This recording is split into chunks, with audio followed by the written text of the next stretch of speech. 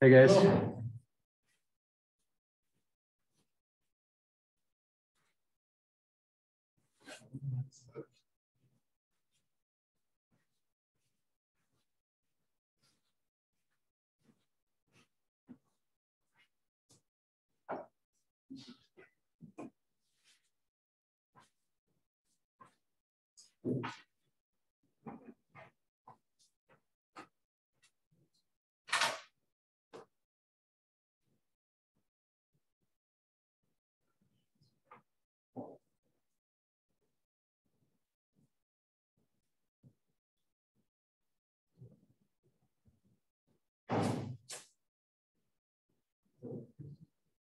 Mm-hmm.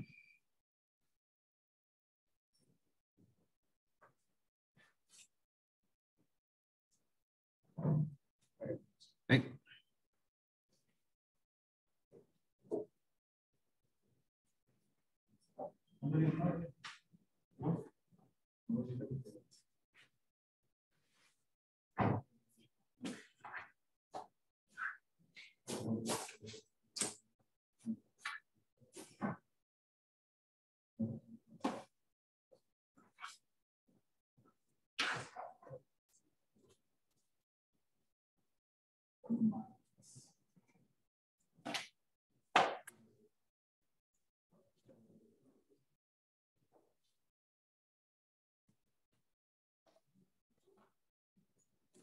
Pretty funny, uh, the last lecture, we talking about strains on muscle. Mhm. Happened to get one last Friday, Oh, dang. I was squatting like just three hundred pounds, Uh-huh. going up, I just felt like a pop on my lower back. Ooh. I couldn't lift ten pounds after that. Oh, man. I was like walking like an old man outside. Oh, man. I don't know how I drove back home, it's- it sucked. Dang. You Yeah. feeling, you feeling better? Looks like Oh, you're yeah, walking yeah, okay. yeah, They told me how to keep my, like, walking. exercise. Yeah, keep the blood. Two days were just, oh, I couldn't sit well, couldn't lay down well. Oh, My man. glute, my hamstring, just sucked. Oh, man. Well, glad, glad it's not too serious. Ho- Yeah, no, it's not serious. That's good.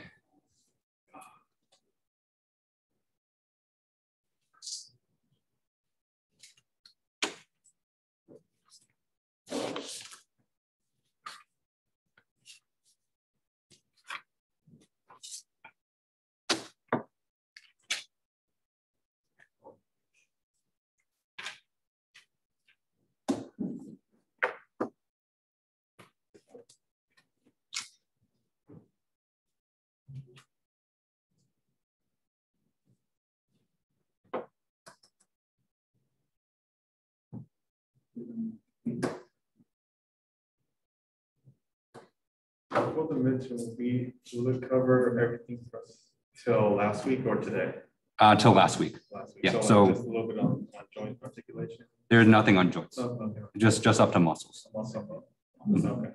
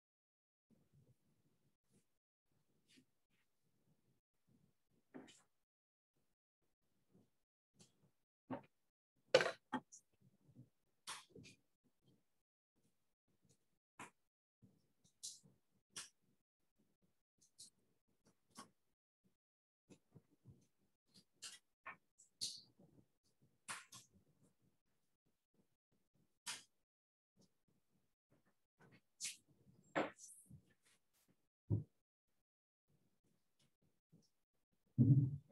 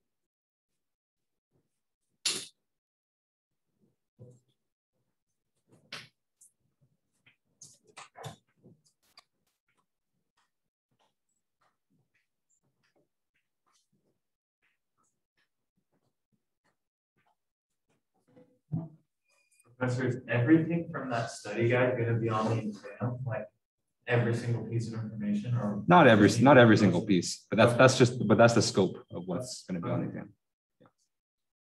Yeah, because I was doing it and I just think the anatomy is gonna be like the most embarrassing.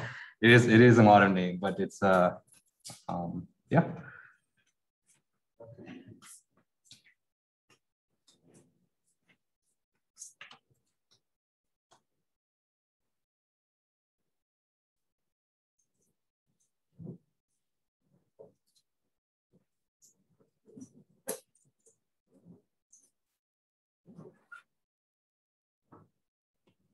All right, it's four o'clock, so let's go ahead and get started. All right, uh, good afternoon, everyone. How's everyone feeling today? Good, good. Everyone have a good weekend? Good. Studying. Yeah, we have a midterm uh, this, this Wednesday. Um, All right, so, uh, so quick, you know, just reminder, um, we have our midterm this Wednesday, everybody.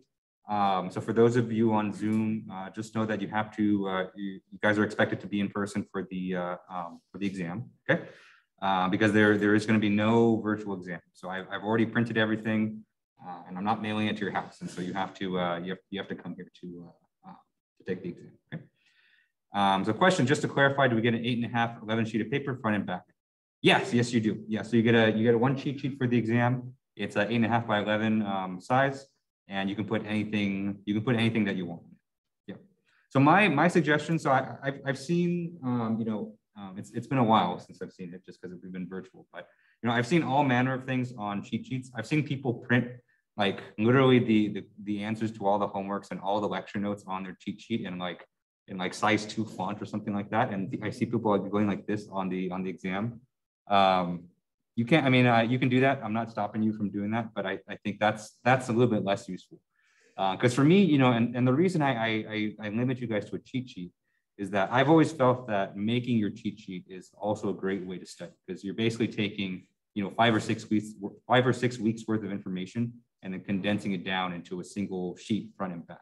And so by doing that, you kind of naturally select in your mind, you know, what's the most important information, or you have to scan your notes and decide, you know, what's the most important things to have. And that in itself is, is already a really great study tool. Yeah. So what do I think would be most useful for us to put on the cheat sheet? So, you know, for this exam, it's, it's a little bit different just than my usual exams, just because it's, it's all conceptual questions. And so I would say, you know, go through the notes and, uh, you know, specifically, you know, I, I there's going to be a lot of emphasis on bone biomechanics, on muscle biomechanics, uh, but also, you know, go over our lecture notes from strength of materials too. So I'd say those are the three main areas where I pulled questions on from the exam. And then go through those lecture notes and then cross-reference with the study guide and see, you know, what's what's the most important information in these notes that I ask for in the study guide, and then put that information on your on your cheat sheet.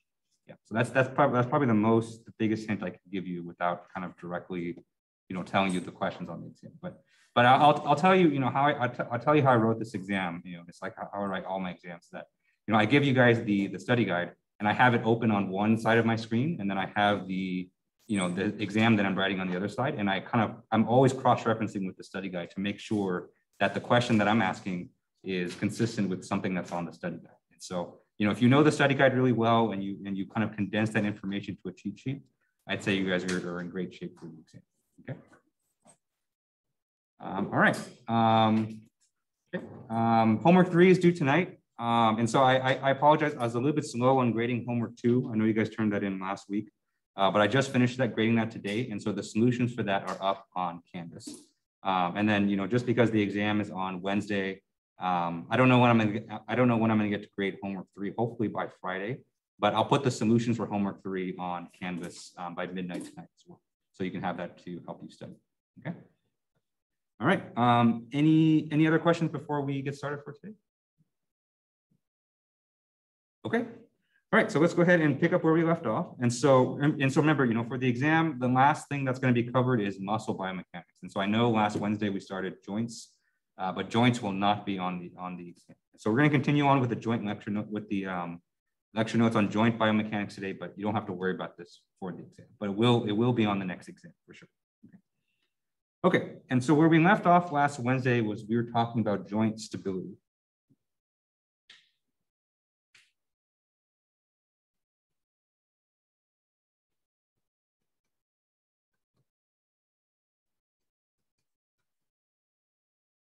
Okay. All right, so let's uh, let's give a definition for joint stability first. Okay, and so when uh, when I refer to the stability of a joint, what I mean is that it's um, what I refer to is its ability to resist dislocation.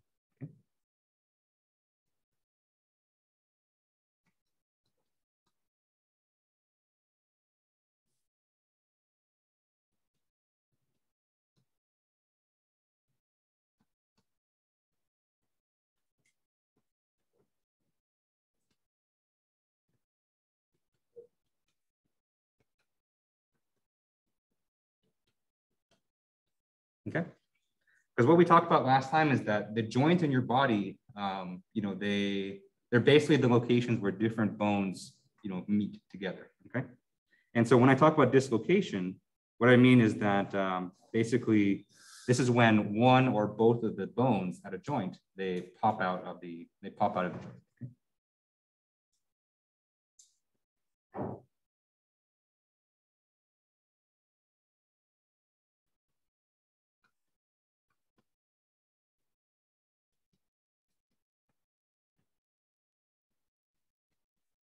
Okay.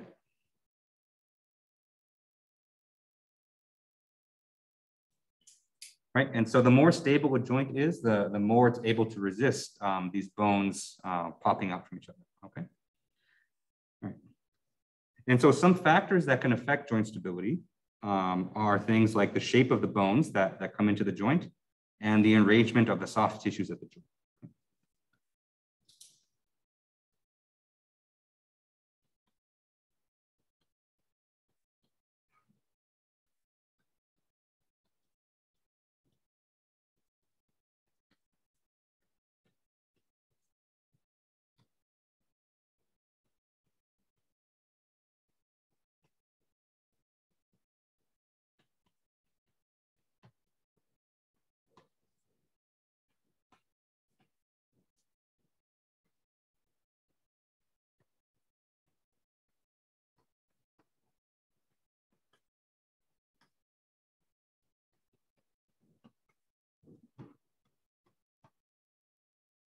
Okay.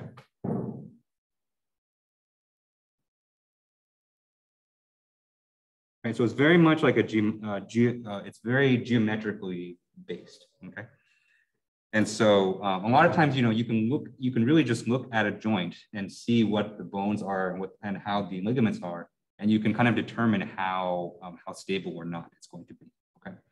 Um, because the different ligaments in your body and the different bones, of course, you know, they, they each have their own properties and, and, and um, you know, mechanically speaking. Um, but, you know, most of the vari most of the variability that you'll see in terms of joint stability comes just purely from a geometric perspective. Okay. And so one factor that, uh, one geometrical factor that's often looked at in terms of joint stability is the amount of contact area. Okay. And so generally speaking,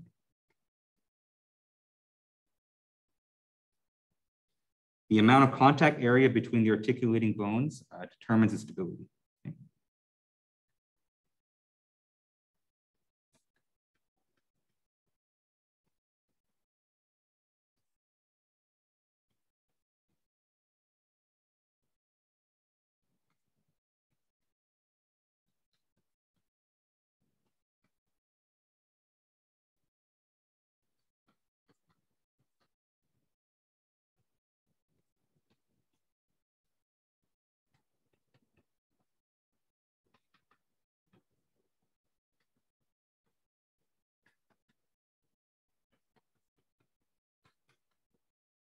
Okay. And so the more contact area that you have between the bones, the more stable it's, it's going to be. Okay. And so if you think about um, if you think about some mechanical joints, right? So if you think about joints between mechanical parts that you would see in like your car or other structures, right? And so generally they design those joints such that they maximize this amount of contact area, right? And so if you think of like a like a traditional like ball and socket joint, it looks something like this, right? So you have your ball, and your socket kind of really wraps around the ball as, as much as humanly possible.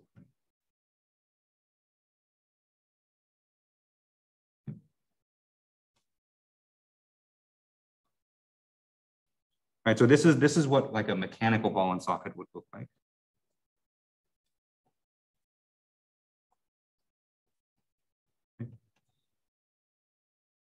And you can see the way it's designed is, is so that you know um, there's there's as much contact between the the ball part and the socket part. Okay.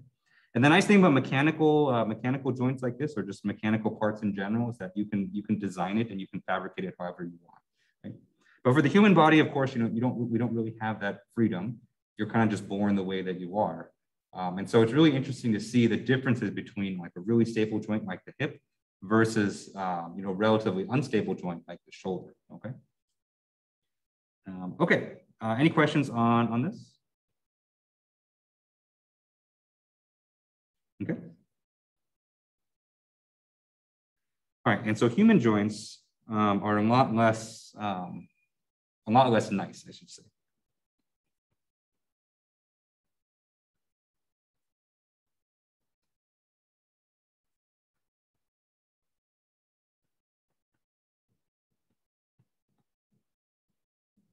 I should say, a lot more irregular.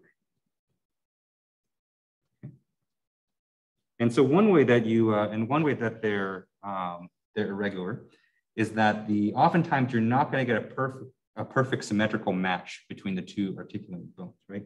And so if we look back to the kind of the, um, the mechanical ball and socket here, or at least my poor rendition of one, you can see that there's, there's almost like a, a, a symmetry about it where know, one, one of the, uh, one of the parts here has a certain shape and the other one is fabricated to match that shape exactly, okay? But if you look at most human joints, you know, with the exception of, of some joints, like maybe the hip joint, uh, but even that one is, is also has some irregularities. There's not, there's not as much symmetry uh, between the two articulating bones. Okay?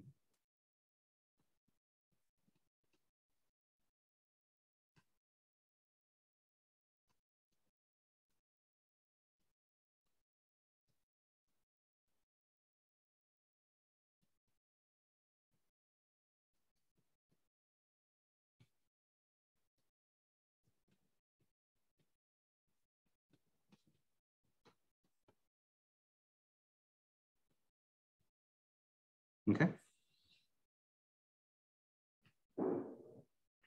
And this asymmetry here makes it really interesting because there, there's certain positions that your limbs can take that'll make the joint you know, more stable than, um, than the other ones.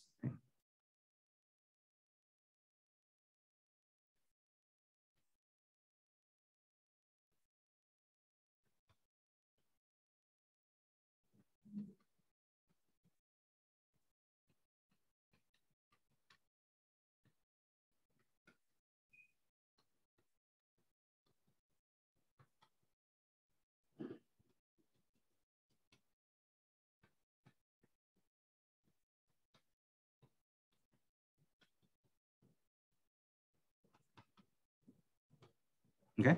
In other words, what this is saying is that depending on where your, you know, uh, where your your uh, your limb is, you know, the joint will be more stable in certain configurations than than the other. Okay. Uh, and so the the technical terms for these is that we have a close packed configuration or close packed position versus a loose packed position. Okay. And so a closed packed position is one where the contact area is maximum and the stability is the greatest.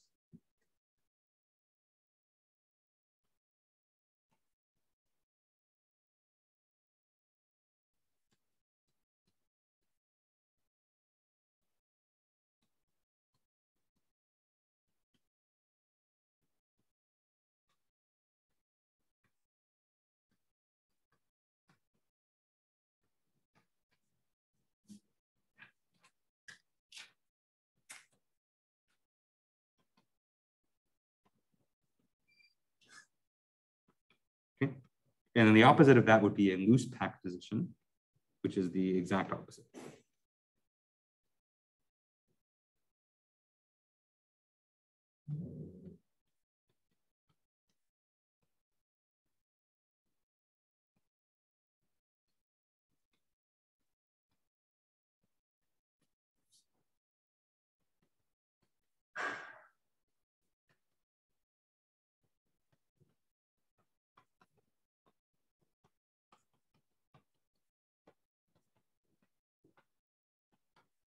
Okay. Right, and so one example of, of this would be your ankle joint. Okay. All right, so for, for myself personally, I, I played a lot of soccer and I played a lot of basketball growing up. And so rolled ankles was just a part of my a part of my life. And so I, I think even now I've rolled my ankle so many times growing up that my ankle ligaments are made of jelly now. And so sometimes I'll just be walking just randomly and then I'll walk on some uneven ground and my, I'll, I'll roll my ankle just because my, my ligaments there are so are so bad. Uh, but the ankle is a great example of a of a, of a of a of a joint where depending on on how your foot is positioned, then your um, then the stability is going to be one way or the other. Okay.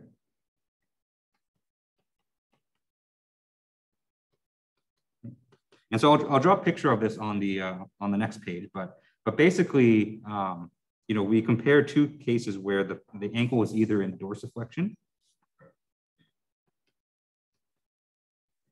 And remember what dorsiflexion means is that you're, you're, you're basically trying to point your toes up to the sky. And so nobody can see this because my feet are behind the table, but they, you know, your ankles are, are basically pointing, pointing up, okay? Remember, think of that as like, you know, a, like a dorsal fin on a, uh, a dolphin, okay? So when you're in dorsiflexion, this maximizes the, the stability of the ankle joint. And so um, let's see, I think there were tests done by Millington and in 2006, and so not too long ago, which measured the, uh, the amount of contact area of the ankle in dorsiflexion. And what he found was the, the, the contact area, the contact area in dorsiflexion was around 7.34 centimeters squared plus or minus some variation, of course, between the different uh, between different people.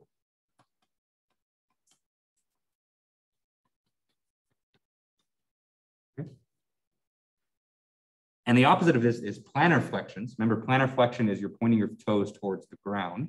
And so you're planting your, your toes. And so that's where it came from.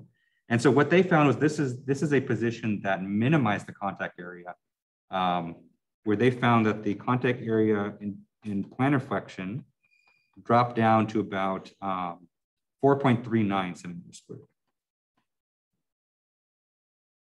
Plus or minus um, some variation, of course. Okay.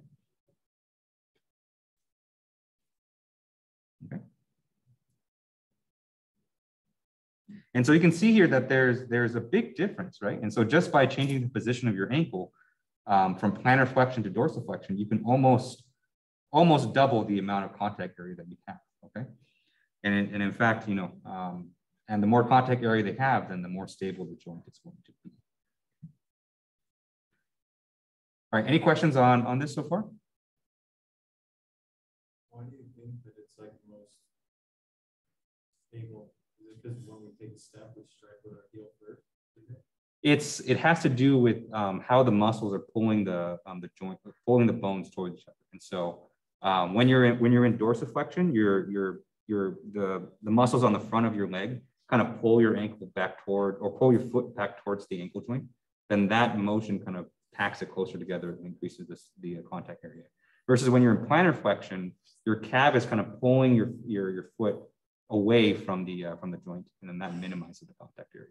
Yeah, it has a lot to do with how the muscles act, act at the joints. Mm -hmm. All right, so let me draw let me draw a picture of you for you to kind of um, show you what this means. Or very poor pictures, I guess. Right. Okay, and so dorsiflexion kind of looks like this. Kind of. This looks like an elf's foot, but you get the you get the point.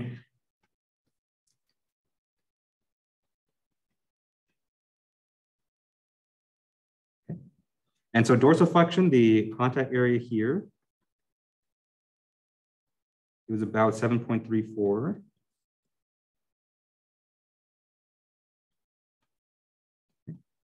And the variability here is about 1.69 centimeters square. Okay. And so that's how much variation they saw, you know, person to person. Okay. Because I think they did this, they did this study with a lot of people.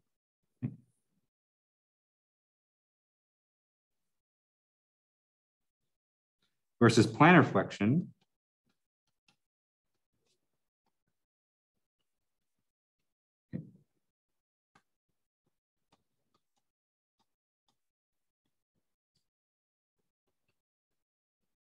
had this uh, contact area.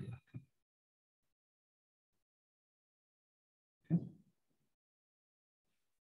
And so to go back to Jacob's question, you know, the uh, basically the, the, the, big reason why you see big differences between these is that in dorsiflexion, basically you have the, the muscles on the front of your leg, they're pulling your foot upwards like, like this, right? And so your ankle joint is, is about here. So if you can draw the bones, they kind of look like this, right? And so if you have a muscle that kind of pulls the pulls this pulls your foot bone up, then it's going to make the this joint here more stable because you're you're basically pushing the bone back into that joint. So that, that maximizes the surface area, right? Versus if you compare that to the plantar flexion um, configuration, right?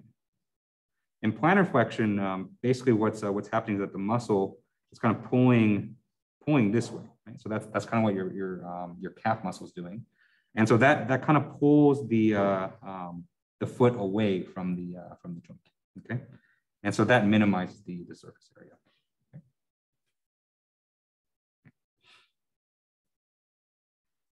I'll, I'll, I'll, give a quick personal story just because uh, people generally enjoy when I, when I tell the story. So when I was in eighth grade, I, I actually sprained both my ankles really bad.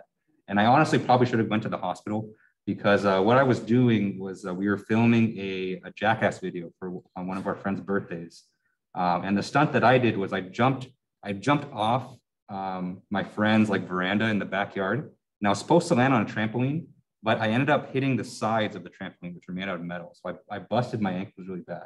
But I couldn't tell my dad that we were filming a jackass video, and so I told him that I, I sprained my ankle playing basketball um, both ankles at the same time. And bless his heart, you know, he never he never questioned me about how I could sprain both my ankles at the same time playing basketball. And so I never got that checked out. And so that's always something that I've always thought about in the back of my head. There might be some there might be something wrong with my ankles because of uh, because of that day. But I remember not being able to walk for uh, for quite a while after after that. But how tall was the veranda? It was basically just uh um it was on it was on the same um, is basically it was almost the roof, basically, just maybe just a little bit lower than like the roof of a one-story house. A two, a one-story house or two-story? One-story house. One-story. Yeah. Yeah. So not not that high, but I was also in eighth grade, so I was like kind of a little kid. Yeah. Okay. You're lucky though. You might have busted your your knees if you would have landed on the trampoline. Yeah. Yeah. Yeah. And in hindsight, it was pretty fortunate, but but I also didn't have the worst stunt, and so one I think one of my friends um, what he did was like there was this giant kind of electrical box at a park, and he would um, ride a he would be on a skateboard, and someone would be pulling him on a bike going full speed, and he would just ram right into the, electrical box, no helmet or anything. So. I, I, I don't think he's okay. I think he suffered, I think he suffered permanent brain damage from that. So at least I, if you know, if, if I had to do that one, maybe I wouldn't be standing here today. But um, but yeah, definitely um, definitely didn't get the worst of it. But you know, I'm glad, I'm glad, I'm, I'm glad, I'm glad I'm here. okay.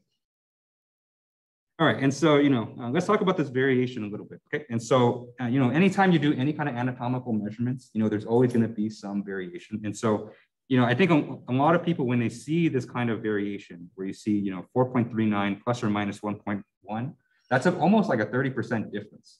Um, but that's that's normal, right? Because everyone is is really different, you know, both in the in their size and in their shape. And that goes for their bones and their joints as well, okay?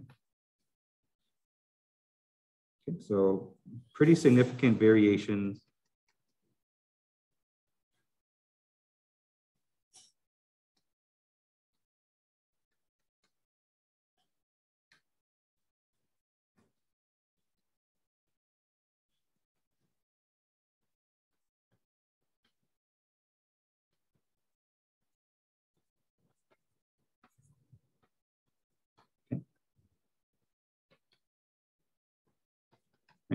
So this might seem like an obvious point, just because you know, of course, of course, there's a lot of variation between people. But um, you know, when you think about the joints, which are you know kind of in between your your bones, you know, there's also still a lot of like, you know, little, little, little intricacies between the, uh, the bones that can cause some variations there as well, okay?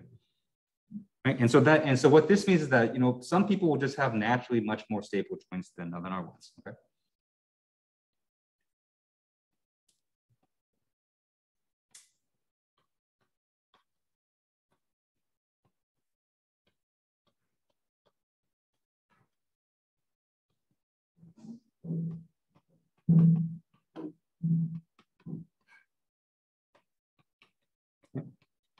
And I and I wish I, I looked this up before class, but I, I just kind of just thought of it now. But um, you know, I, I, think you know if you if you want to correlate, um, you know, between certain certain factors that people have versus their joint stability, I think probably the one that's the probably the the factor that's most telling of joint stability would just be the size of their bones, right? And so people generally with bigger bones just naturally going to have bigger, um, higher amount of stability just because they just naturally have a lot more surface area. But I don't know if I don't know if joint stability is correlated with, with you know weight or, or, or genetics or anything uh, or anything else. But but I would what I would think is that you know the bigger your bones are, the more stable the joint is going to be. Okay. All right. And so another way that you can increase joint stability is just to simply apply a force um, onto the onto the bones. Okay. Right. And so um, you know just just like we saw here with the uh, with the foot example, uh, with the muscles, you know, you can apply forces in, in, different ways as well. And so the more force that you apply um, at the joint where you push the limbs together or push the bones together, that's going to increase surface area.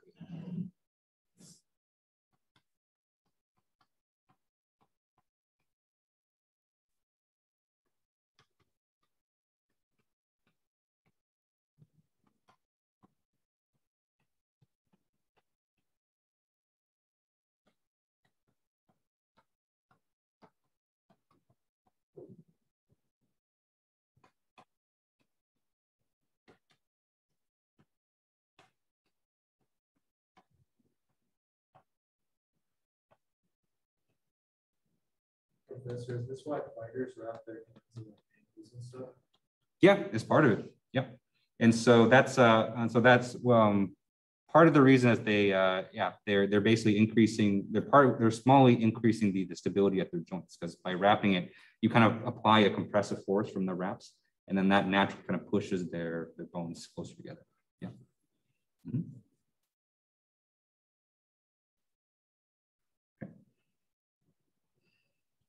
All right, any questions on uh, any questions on this?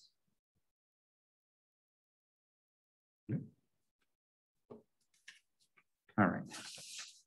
And so another factor, you know, besides the shapes of the bones and how much force that they're they're uh, um, that they're they're they're um, taking to get pushed together, the other big um, um, determiner or determinant of joint stability is the arrangement of all the ligaments and muscles.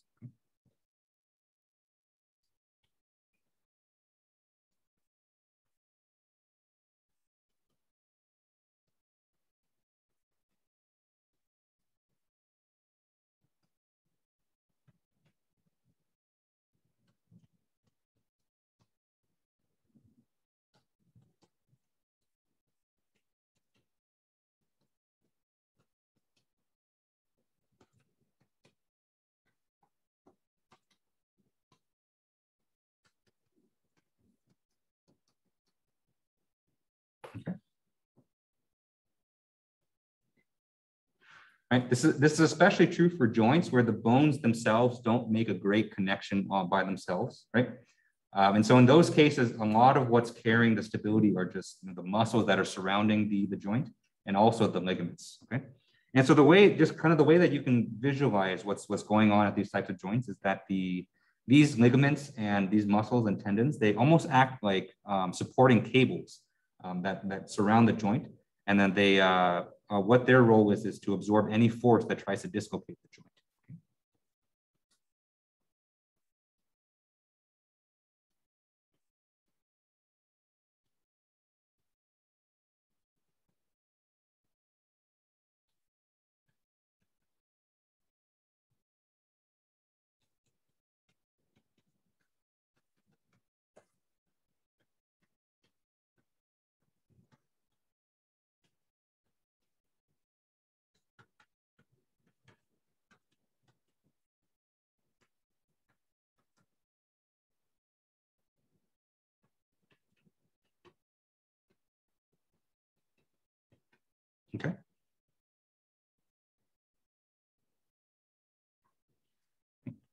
And in the case for the muscles, um, we know that muscles are, you know, they can they can generate their own tension, right? And so muscles can also act like a, uh, a force that, you know, um, that, that kind of forcibly puts the, the, um, the bones together. Um, but, you know, they can also apply a force to bring the bones back into alignment in case they do get very minorly dislocated.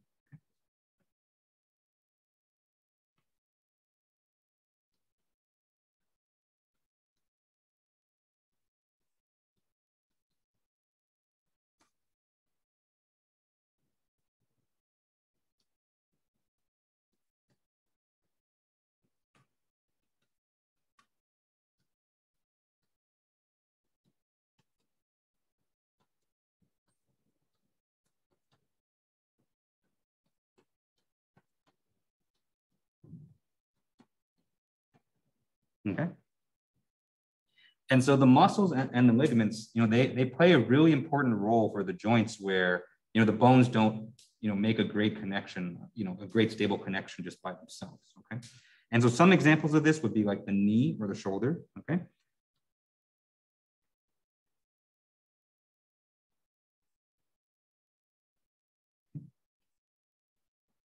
I think the shoulder is, is actually one of the most um, dislocated joints in the body, if not the most.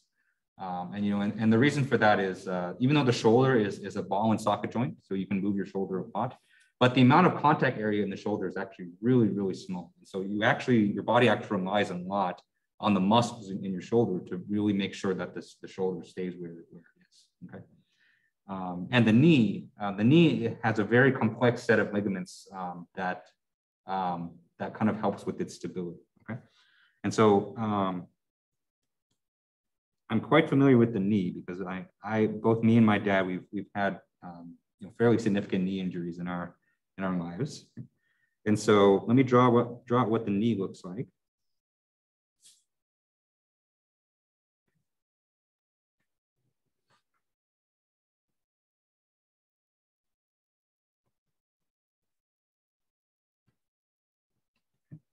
And so here's a picture of, of the knee joint. And so up up top right here, I have the femur, right? So this is your thigh bone.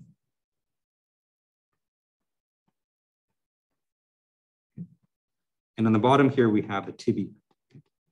So remember the tibia is the big bone that's in your, in your lower leg, right? And so your knee joint is comprised between these two, these two bones, okay?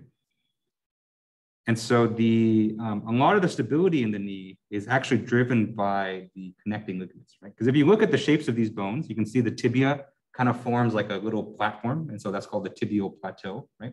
Whereas the femur kind of has this kind of dual head shape um, at the bottom right there. So these two, you know, if you kind of push them together, you know, they don't really want to, they don't really want to stay together, you know, just by themselves, right? There's, there's not really much of a, much of a group there. And so what's really holding the knee together is these um, set of ligaments. Okay? And so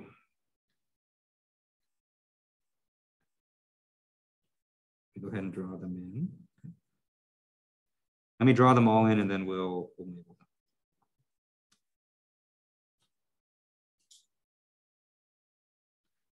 All right. And so this one right here, we'll call, this is the LCL, okay? That's called the, the lateral collateral ligament. Okay. This other one on the outside is called the MCL. And so that's called the medial collateral ligament. Okay. And so remember, remember the difference between lateral and medial. So lateral means towards kind of the outside of your body. Okay. And so if this were the, the right knee, the LCL would be on the right side. So that's kind of towards where your hand is. Whereas the MCL, the medial collateral ligament, that's towards the that's towards the midpoint of your body, right? And so that one's going to be on the on the inside. Okay.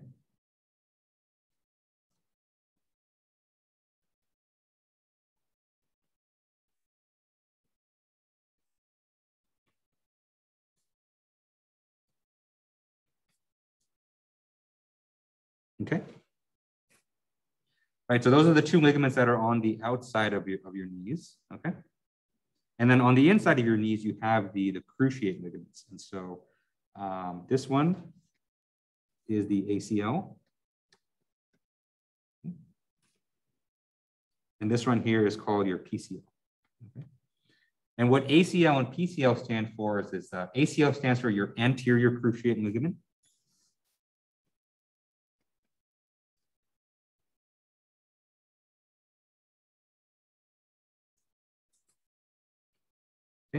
And PCL here is your posterior cruciate ligament.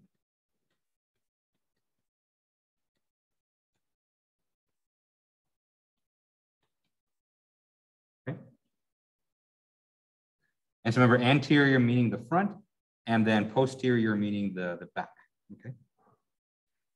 And so the, uh, the cruciate, what this refers to is the fact that these two ligaments actually cross over each other, you know, on the inside of your knee and they form that kind of cross shape, okay? And so anterior and posterior kind of refer to where those, those attach.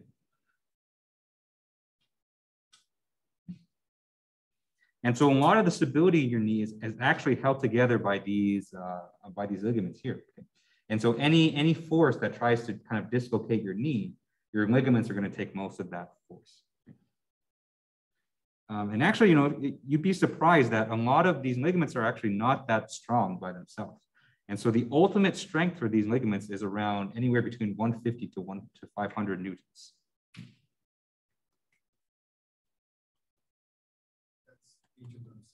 Yes.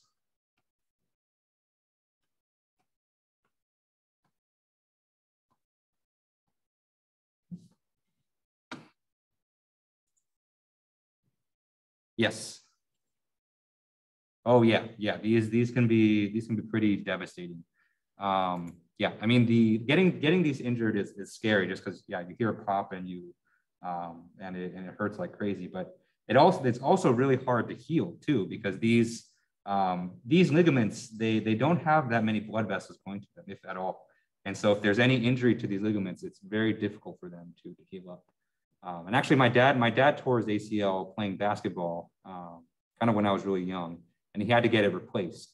Um, but actually, you know, I, I, I don't know if they just didn't do that great a job with the replacement, but since then he's, he's never really been the same, um, which is really sad because, you know, he really liked to play back. He really liked to be active.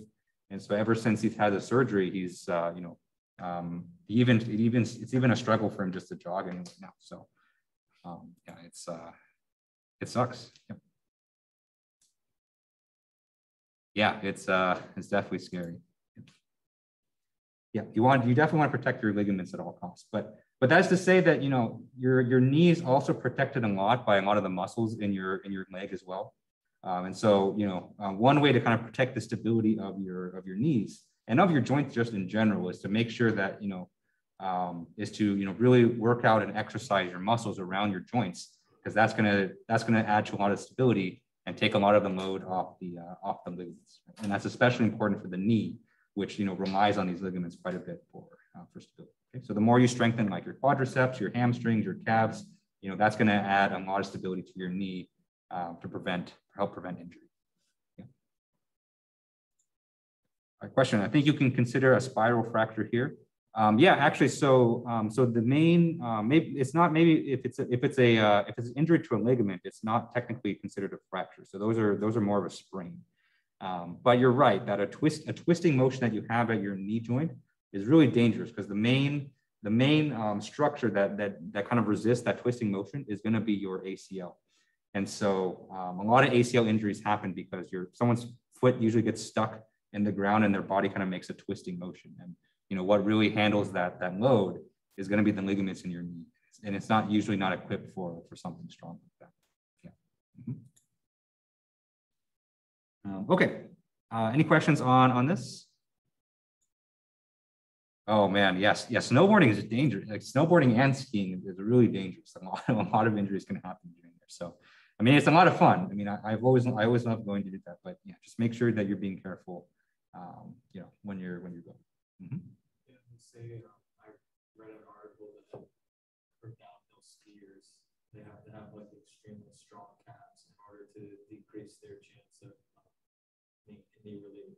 Oh, for sure. Yeah. Like the calves apparently the most important. Oh yeah, yeah, definitely. Yeah, because for skiing, you know, you have it's it's different from snowboarding because snowboarding, both your feet are both attached to the board. But for skiing, you know, both your legs can kind of do different things. And if you have kind of a bad spill, you know, with how long the ski is, like it gets stuck on something, then that that that can lead to a lot of a lot of injuries. Yeah, but having strong calves is is you know helps with that quite a bit, for sure. All right. Uh, any questions on uh, any questions on this? Okay. Actually, actually, going off that point with the uh, with the muscles, you know, because the because the muscles do a lot of work in helping to maintain the stability of, of your joints, it's really important to um, you know, you know, first of all, you know, make sure your muscles are are, are you know they're they're adequate for the task that you're doing, but also to um, if when your muscles start to get fatigued, it's important to you know stop whatever activity or, or make sure that you're being aware of that. Okay. So when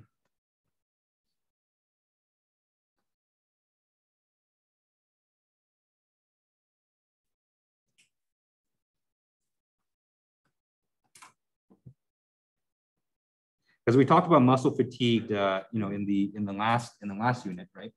And so you use a muscle over and over again, it starts to get fatigued. But even just as a as an elastic material, right?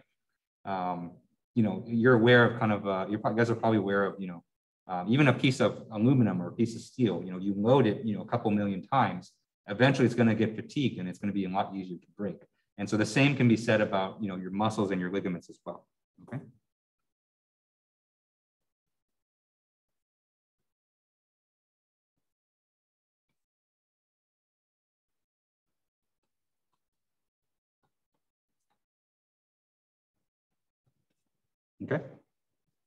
And so that's why, you know, they always tell you when you're working out, you're, you're working with heavy weights.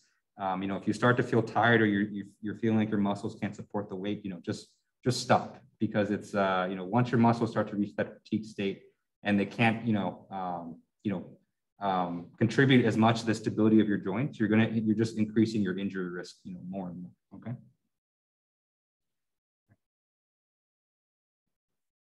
Uh, with that said, strengthening let me just go ahead and, I know we talked about on the previous paper. Let me just put it into a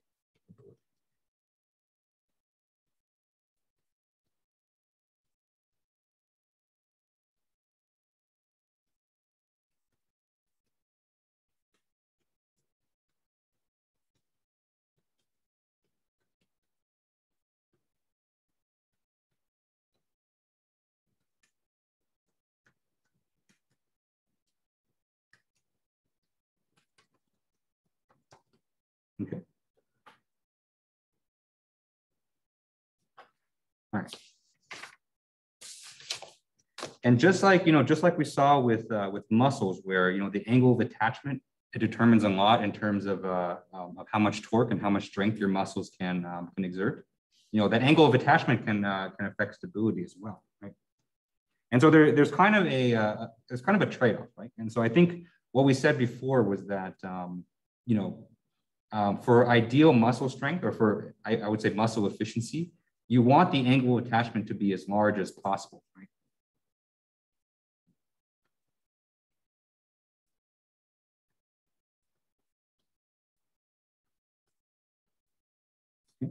And so let me go ahead and draw just two limbs like here. Right, and so this one might be your uh, your your arm, okay? And so you have your humerus and you have your um, um, your radius or your ulna, okay?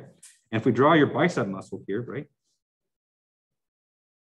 Right, depending on how it's attached, you know, if we have a attachment angle like this, where it makes almost a 90 degree angle with the, uh, with the muscle, right? Then all of that muscle force is gonna go towards rotating the limb, right? And so in this case, where the angle of attachment is, um, you know, per, is uh, basically perpendicular to the limb, this is great for, um, you know, producing torque or for, or for muscle, muscular strength. Um, but, you know, and, we, and we'll do a lot more analysis of this uh, probably starting next week. Let's say that your angle of attachment is more closer to this, okay? And so it's more flat, okay? And so you have less angle of attachment. It might seem like something like this is, is, not, uh, is not ideal, okay? Because only, only the vertical component of this force, what I have right here, right? Only this is actually going towards rotating your limb, right? And so a lot of it's actually just being pushed into the joint. Okay? But you know that muscular component that's actually pushing the pushing the limb into the joint, you know, it might seem like that's not that's kind of wasted effort. Okay, And so even though this component does not contribute to the torque,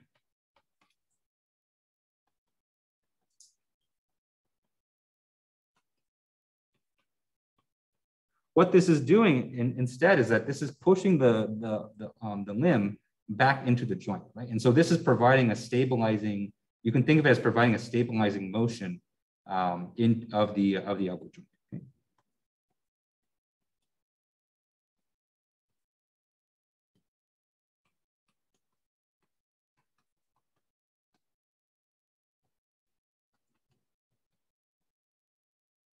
Okay?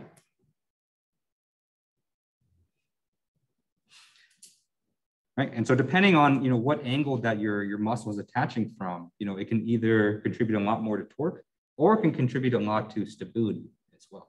Okay. And so there's kind of a, that trade-off in between the, the two. All right. Any questions on uh, any questions on this? How would we know where our angle is? Just look at your body from the outside with like a tool or something. It's really hard because it's uh, I think I think you would you would need to kind of cut, cut it open, yeah.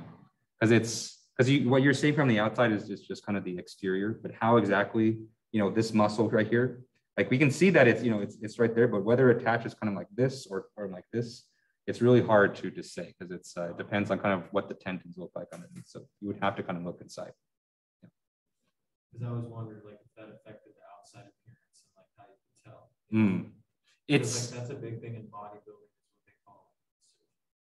yeah, it's, yes, yeah. So like for the bicep, you always want the long insertion, like with the high peak, but some people have a really, really short bicep insertion when they flex it. So I was wondering if you could tell from that, Mm. like would that give you a hint, like if somebody had a really short stout bicep that almost looked kind of like a baseball, Mhm. could you tell from that how it was attaching to their bone, or would it still just be a mixture? I think I think there, there there's a lot of that would that would be correlated. Um, so if you're talking about you know kind of big differences in size, and generally as the muscle gets bigger in size, then that kind of pushes the angle attachment a little bit upwards a little bit. But even then, you know, there might be some variability because it, really depends on how the tendon attaches to to the bone. But as the muscle kind of gets it grows away from the limb, it naturally is going to pull kind of the attachment angle up. like that. Okay. So it's all basically just down to tendons. Yes. Yeah. Mhm. Okay. All right, and so that's uh, that's joint stability. And so let's let's talk about the the opposite of, of stability, which is flexibility.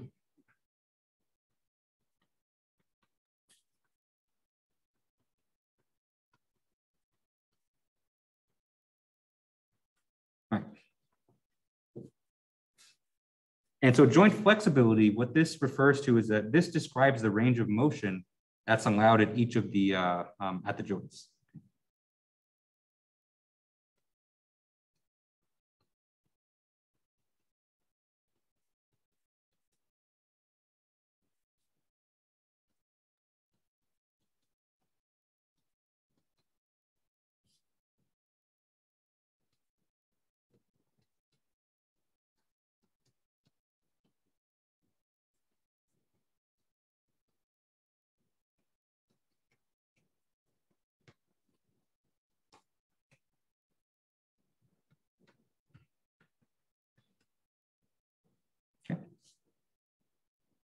And so the, the reason I call flexibility the opposite of stability is that they're often they're often inversely correlated, although the, the relationship's not always you know like that. So generally, the more flexible your joint is, the less stable it's it's going to be. Okay.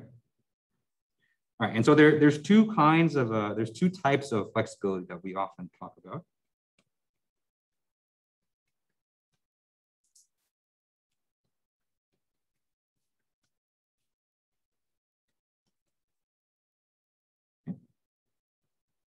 And so the first one is called a static flexibility.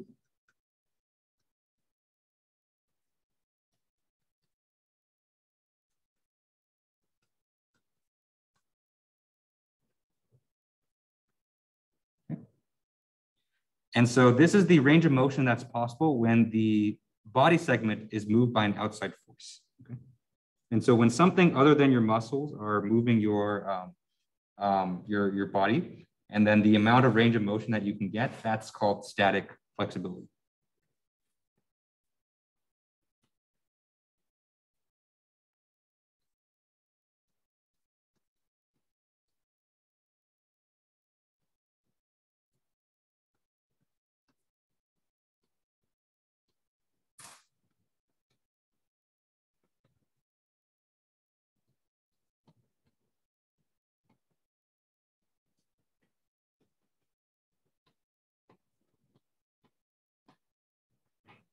Okay.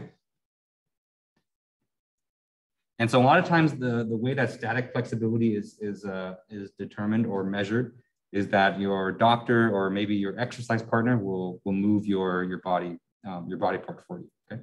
And so without you tensing your muscles at all, you know, the range of motion that, that you get, that's static flexibility. Okay? And so the other type of flexibility is dynamic.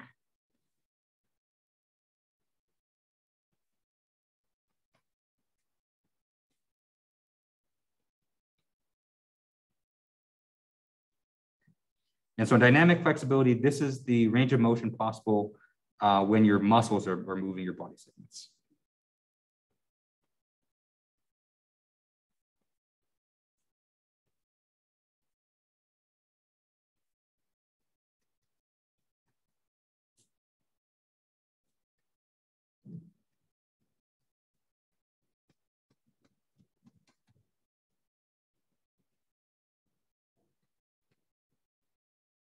Professor, is this like flexibility versus mobility? So like, does mobility refer to the second, which is dynamic flexibility? Hmm. I'd, I'd have to, I'd have to check, double check and see how they define that um, um, specifically. Um, it, it, it does seem to correlate, at least, at least the way that I think of mobility, but I'd, I'd have to double check just to make sure that it's the same thing. Right. Yeah. Mhm. Yeah, because dynamic flexibility is how much flexibility you get on your, on your run versus, you know, how much you flexibility you have by someone moving your joints for you. And so that's, that's how I understand mobility, but then I'd, I'd have to double check and and see, just to make sure. Yeah. Mhm. All right. And the interesting thing about these, these aspects that you would think that they're, uh, um, you know, that they're heavily correlated, um, but these, they can be pretty independent from each other because, you know, like we saw with the attachment angle with the muscles, right? When your muscle is tense, right? And so when your muscles uh, apply tension, that affects, you know, how your bones interact at the joints. And so, you know, how much flexibility that you can get by just using your own muscles is different than when your muscles are relaxing and then someone else is performing the motion for you. Okay. And so these two assessments are, they can be independent from each other.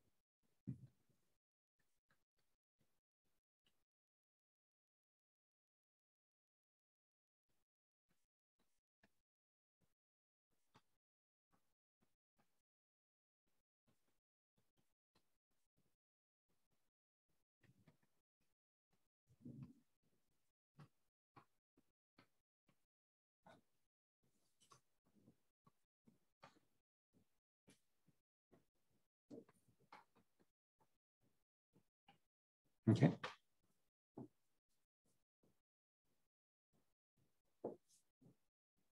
Okay. And, uh, and, you know, one thing that I, I didn't talk a lot about um, instability, but, you know, flexibility and stability, these are, these are joint specific, right? And so you can't, uh, you can't really say that, you know, one person overall has very stable joints or one person overall has very flexible joints, right? And so, of course, things are going to vary between person to person. Um, but it's very possible for someone to have very stable, you know, maybe a very stable shoulder joint, but maybe their knee joint is not that stable, right? And, and vice versa for flexibility.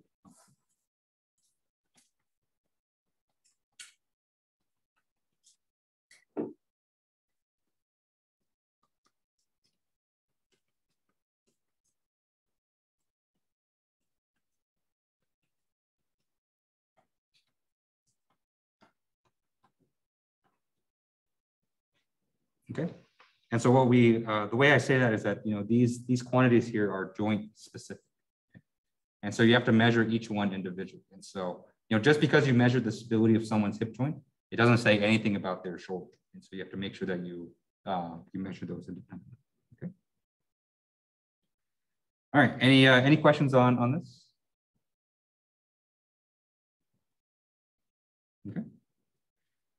All right, and so uh, and so how is um, flexibility measured? Right? And so for stability, you know, we we we talked about that um, contact area is one way that we can measure it.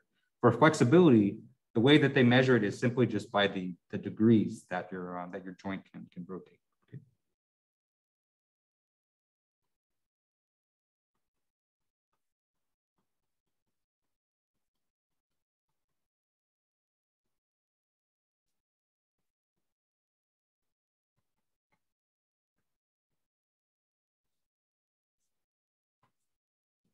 Okay? All right, so and so basically the way that um, this is measured is that, you know, when your body is in the resting position, this is kind of at zero degrees.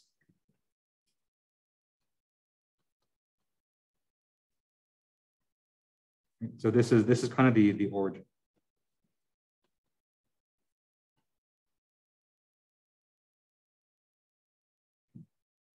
And so how far you can move your, your body segment away from the resting position, you know, they're going to measure that angle with a uh, uh, with something called a uh, goniometer, right? Uh, or goniometer. Um, then that's going to um, determine your flexibility.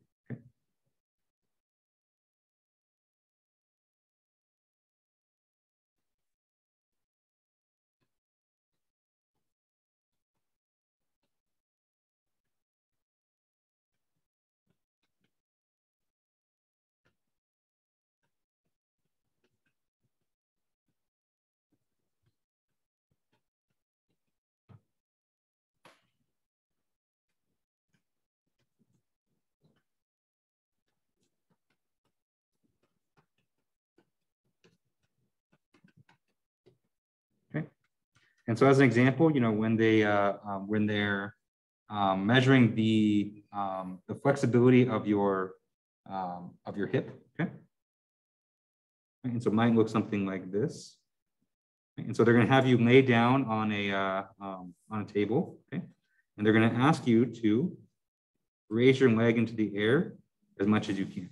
Right? So either someone, either you're going to do it yourself, or someone's going to do it for you.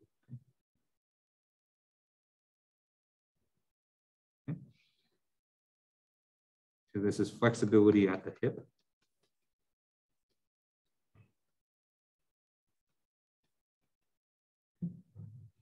And so once you do that, they're going to take, you know, you're going to take one of your legs here as kind of the horizontal axis and the other leg here as the vertical one. Okay.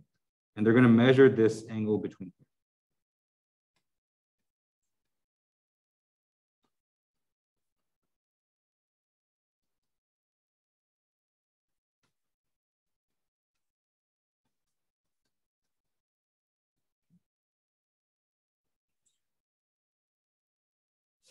Right. And so specifically, this is a flexibility for hip flexion. Right? So you're, you're basically flexing your hip. But you can also measure flexibility in the other direction as well.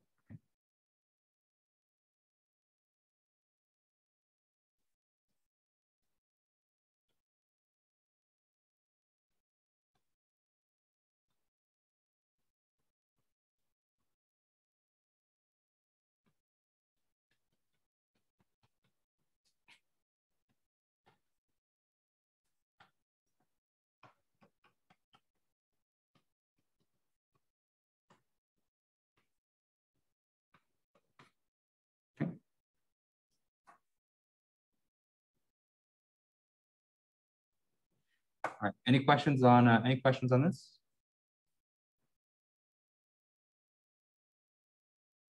Okay. All right. And so now let's talk about some factors that that could influence uh, flexibility.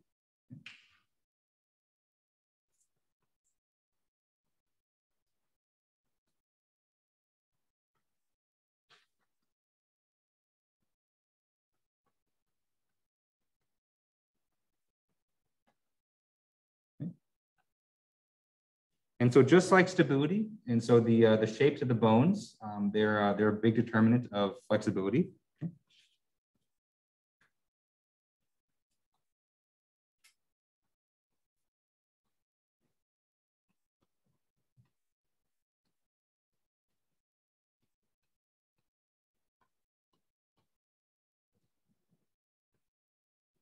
Okay. Also, uh, another factor that uh, that affects flexibility is uh, just any of the muscle or, or, or fatty tissue that's around the, the joint as well. Okay.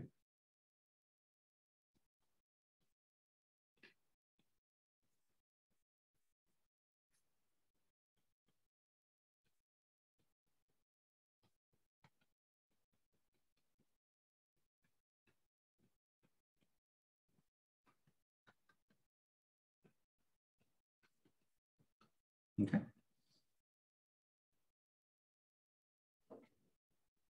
right?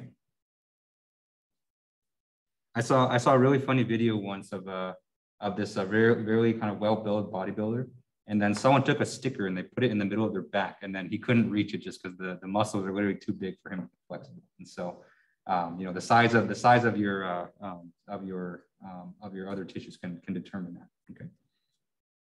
All right. Professor, I have a question about that. So Sure. it's like, so if you have, see like in weightlifters a lot of the time too, where it's like, they have big upper bodies, but like their shoulder mobility is still like really good. So Mhm. does a bigger muscle automatically make you less flexible? Let's say you have a bigger shoulder than somebody else, right? Mhm. will that automatically make you less flexible than them? Or can you do like stretching and stuff like that that brings you back into the same range of motion that someone with a smaller muscle has? Yeah, so I, I think there, there's definitely room for, you know, stretching your muscles is to add flexibility to your, to your joints, but there's a limit because eventually, you know, I think for, for the bodybuilder, what's literally happening is that his, his, his muscle is so big that it's contacting his other muscle. And no matter how flexible it is, you know, that's, you're running and you're running two solid objects into each other. And so you can't, no matter how flexible your, your, your opposing muscle might be, if you have two things that are running into each other, then that's going to limit your flexibility. And so, you know, there's, um, you can you can help you can um, you can um, do a lot with stretching but only up to a certain point. Because like once once things start contacting each other then it's uh, then it's that's it yeah i'll give you another example from my personal life where um, uh, where it's it's it's a, it's definitely a little bit harder for me to put socks on in the morning because i have to kind of bend down and, and kind of pull up my socks compared to earlier in my life where i, I didn't have as much of a as much of a belly and it's because literally, you know, the, the, the fat tissue in, in my stomach is preventing me from kind of bending over to putting my socks. And so it doesn't matter how flexible my back is, it's because my if there's you know tissue that's kind of running into each other, then geometrically you can't you know go beyond that. Okay. Yeah. Mhm. So can you like by stretching, can you increase the elastic properties of your muscles or can you take advantage of them better? Like for example, let's say like you got a tighter hamstring versus a more flexible hamstring. Mhm. Like when you, like, let's say like if you're deadlifting or, or doing something that involves the hamstrings a lot, are you better able to take advantage of the elastic properties of your joints in that case if you're more flexible? So if Not any of you? Yeah, yeah. So if you if you stretch, then it's uh, it obviously it obviously loosens them up. Yeah. Um, in terms of how that actually how that actually can be tabulated in terms of like material properties or elastic properties, Mhm. that I'm not 100% aware of. But um, but I would imagine that you know the actually the tighter your muscles are, the more strength that it would it, it can actually pull back on. It's just that it's it just makes it more prone to injury. That's that's kind of how I always always understood it. Um, but in terms of elastic properties, I don't know how much that it would help, or, or I haven't I haven't seen any studies that uh, um, that, that really measured that. Yeah. Mhm.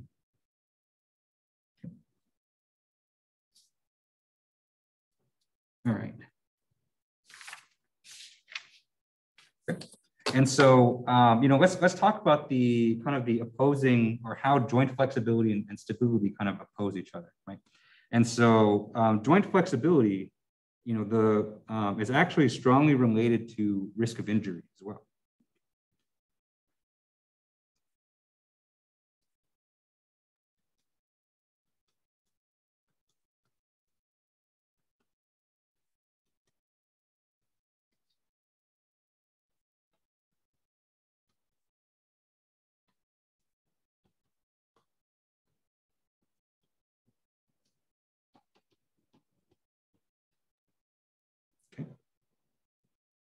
And it, and it actually goes both ways. And so, you know, if your flexibility is too low,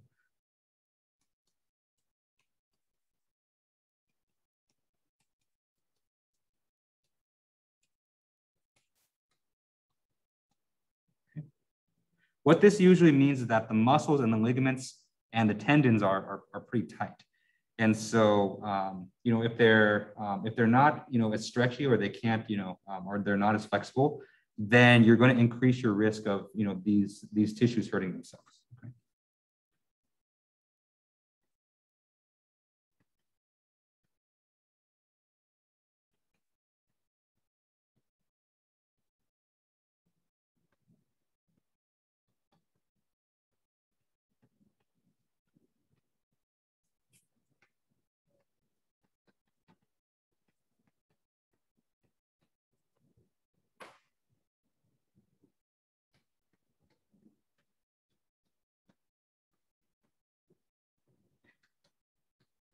Right? And so the concern, basically, you know, when you're when you have low flexibility at a joint, you know, the main injury concern is going to be actually in your soft tissue, right?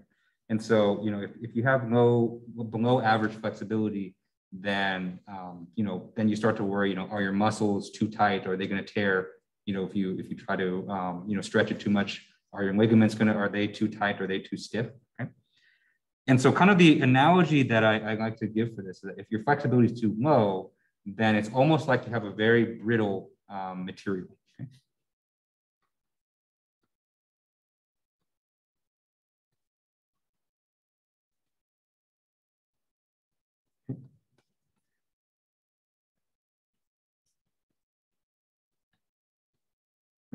And so that brittle material, you know, maybe maybe strong, maybe not.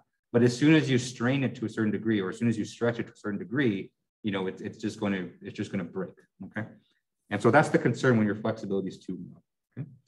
On the other side, if your flexibility is too high, then um, you know what you're to what's going to happen is there is that your joints going to have very low stability, and so dislocation start to become a big concern.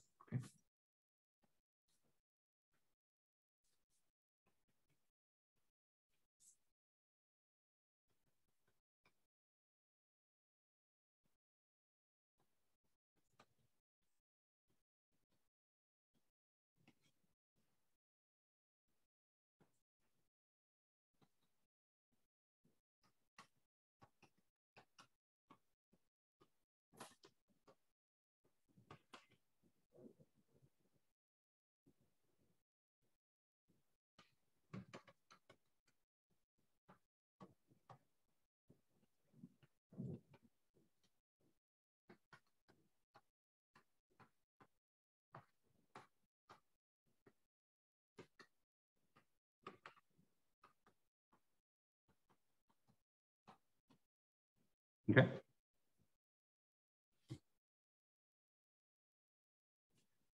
And so if you're uh, basically, if, if you're, you know, your flexibility is too high, that means your, your muscles and your ligaments are not really doing too much to keep your bones uh, into the joint. And so, you know, it, it basically increases the risk of that bone popping out and, you know, causing injuries in, in that regard too. Okay. Yeah.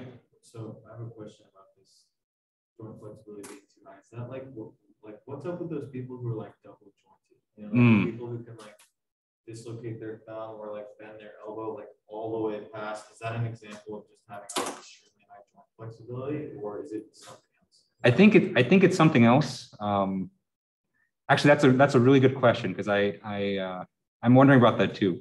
For for double jointed, what I the way I, I kind of think of it is that there's, there's there's just kind of two positions where the joint can be stable, and so you can kind of pop the joint out of one position or pop the bone out of one position and into another one, and that's also a stable a stable joint.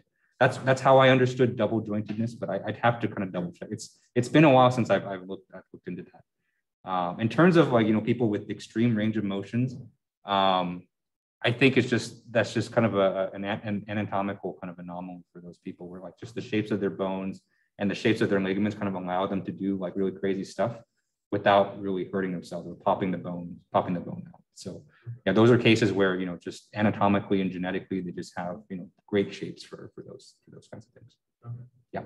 Mm -hmm. Right.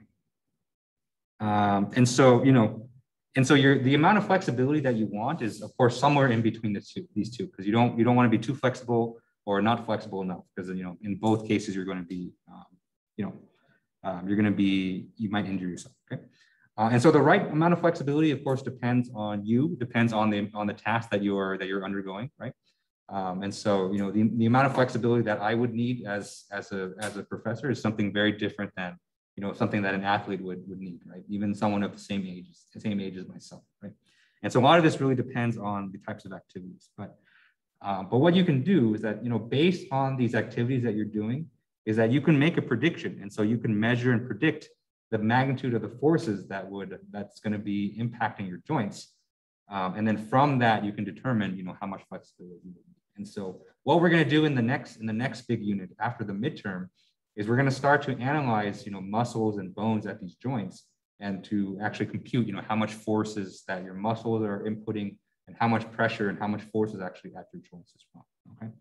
And so we can, we can use analysis like that to help us determine you know, what the right amount of flexibility is and how much stability, how much contact area that you can, that you can have. Okay, okay. Uh, any questions on, on this? How much time do we have? We have five more minutes. Okay. And so let me start the, the next point and then we'll finish it up after the midterm. Okay. And so let's talk about some, some common, um, some common injuries that you can have at the joints.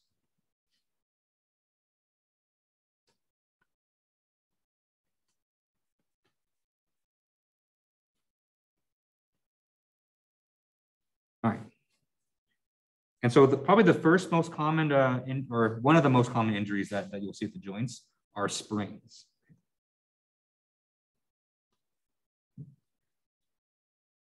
It sounds similar, but it's different than strains. Right? So remember last time when we talked about muscles, we talked about strains.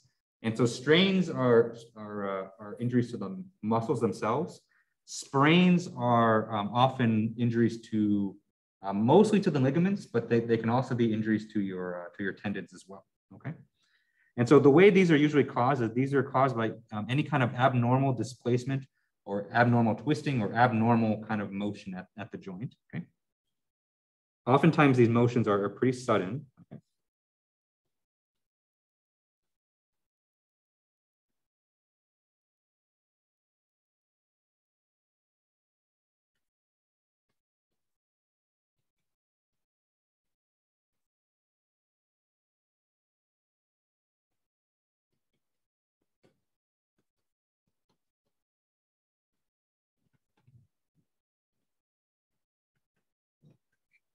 And what this is going to do is that it's going to cause either a, uh, uh, an abnormally high amount of stretching, or in some extreme cases, some tearings of the ligaments um, and tendons or other connective tissue at the joint.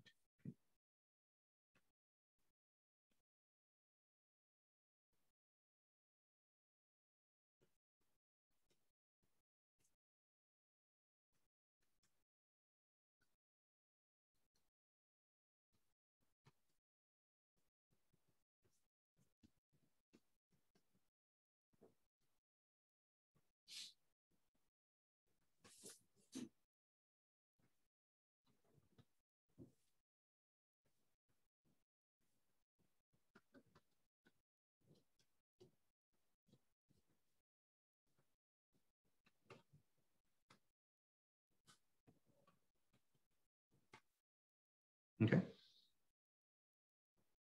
All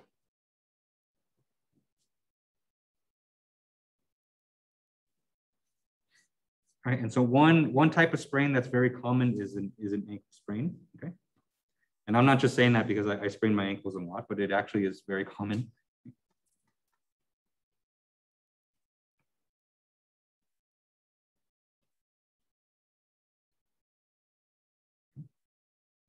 Um, and in particular, you know, the most common side of, or the most common location for an ankle sprain is on the lateral side, okay? And so that's on the on the outside side of your of your ankle.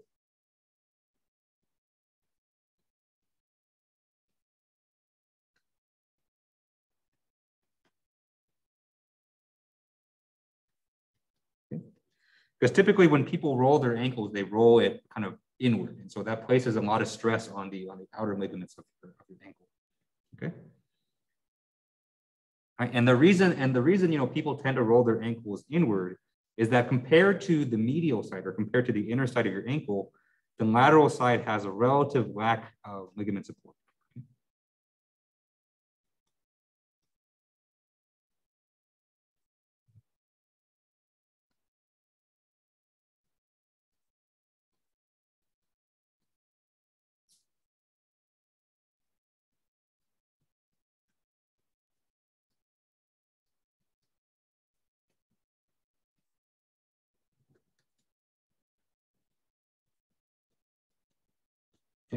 And so just it's just naturally a lot easier to roll your ankle inward versus versus outward. Right? And rolling your ankle outward is kind of an awkward kind of motion too, because you're gonna have to like bow your, your knees in as well. Okay? All right, and sprains are they they can typically be measured on a uh, on a scale. And so there's a first degree, second degree, or third degree, depending on the severity of, of the injury. Right? So depending on whether you just simply stretched a ligament or you um, or you stretched it a lot, or you, if it's a complete tear, you know, you can give it a uh, varying levels of severity. Okay. And sprains are, you know, one of those things that are, they can be very painful. Um, and so you know, they're, uh, they're not fun to have. All right. Any final questions before we uh, wrap up for today? Okay. Right. So remember, Wednesday is the midterm. And so everyone has to show up on, on Wednesday. And so I'm not even going to open the Zoom call on Wednesday. So please make sure you guys are here to take the exam. Okay. And I'll send an email tomorrow out to remind you as well. Right. Um, and so if you have any last questions on the midterm, I do have office hours the next two days actually before the midterm. And so you can come ask there, um, or you can shoot me an email and I'd be happy to answer your question as well. Okay. So best of luck studying to everyone. Uh, make sure you check out the review video. And so remember, I posted a video on Friday to help you review. And so make sure you check that out and use the study guide as well, right? And so thanks everyone. I'll see you on Wednesday.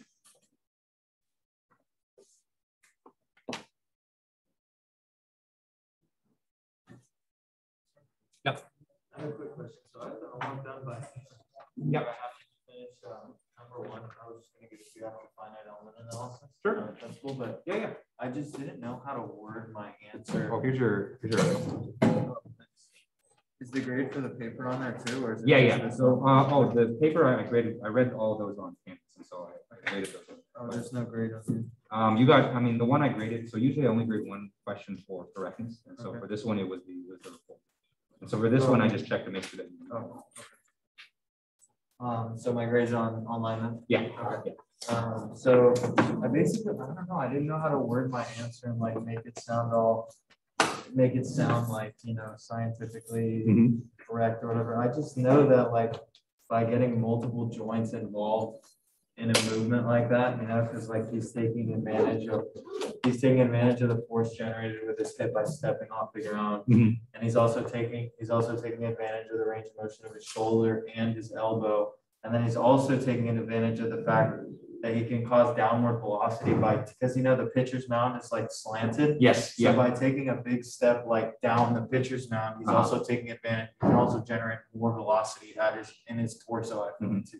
yeah, So should I just put something like that? yeah, that's fine. The, the main, I mean, all of that is correct, but the, the main thing I was looking for in that one was just, you know, the stretching motion, you're taking advantage of the elastic um, properties of the muscle. Okay. Um, but like kinematically speaking, and, and in terms of, you know, um, of just how you can generate the most momentum, everything you said is right. But the only thing I was looking for is that, you know, before you make a big motion, if you stretch first and then you do it, then, Okay. then that's what gener, that's, that's what helps with the force generation. Okay, so by pulling his arm back, basically, he's just taking advantage of the elastic, Yes. the elasticity of his pecs and his shoulders Yes. to like help bring the ball forward. Exactly. yeah. That's the main thing I was looking for, but, but yeah, the more detailed you can be, that's, that's obviously. Okay. I'll just put that, I'll, I'll go to FEA and just put that down right now. Okay. Um, oh, and then also, I just thought of like this video, because he Mhm. went like suit, I'm talking